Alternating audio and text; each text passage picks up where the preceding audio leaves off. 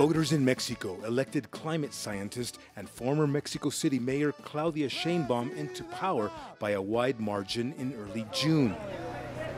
Among her top priorities as she prepares to take office will be dealing with an unwieldy regional migration crisis.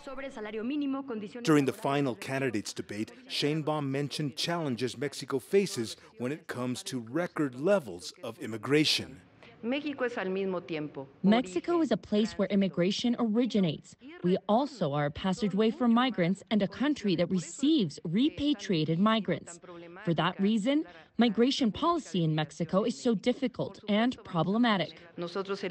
Mexico's next president promises to protect Mexicans living abroad. The most important thing is that no one is forced to migrate out of necessity. We have proposed that the United States create a fund of 20 billion US dollars for regional development instead of spending that money on weapons and war.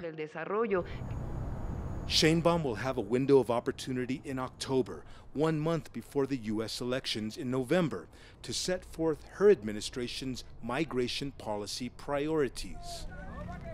Political analysts say she'll have some leverage because the United States needs Mexico's cooperation to contain regional migration flows. But ongoing violence in parts of Mexico forces large numbers of Mexicans to flee their hometowns and villages. Migrant workers are a common sight here in the Mexican capital and around the country. They're a constant reminder of the migration challenges Mexico's new president will face upon taking office.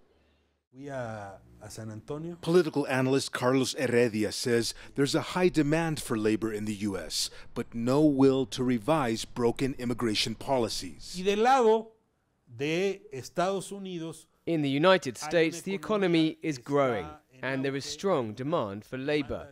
And there are between 7 and 9 million vacant jobs needed to be filled.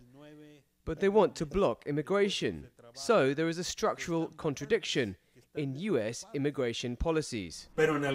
He says immigration policy contradictions emerge when the US holds congressional elections. The US holds elections every two years, so we are always in an immigration crisis. The pressure will not let off anytime soon. That's because each new day, more and more migrants enter Mexico, hoping to travel north and to a new, more promising life in the United States. Franc Contreras, CGTN, Mexico City.